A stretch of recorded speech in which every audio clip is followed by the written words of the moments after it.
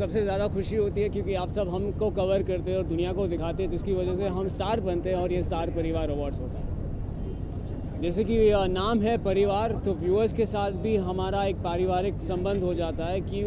regularly star plus देखते रहते हैं और सारे शोज़ को इतने पसंद करते हैं और अभी हॉट स्टार भी देखने लगे हैं तो यही मेरी मेरा उनसे कहना है कि हमारे शोज़ देखते रहें और हमें इस, इस तरह से प्रोत्साहित और प्यार देते रहें